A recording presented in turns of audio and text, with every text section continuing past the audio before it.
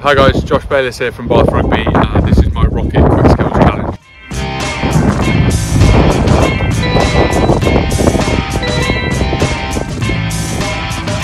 Mm.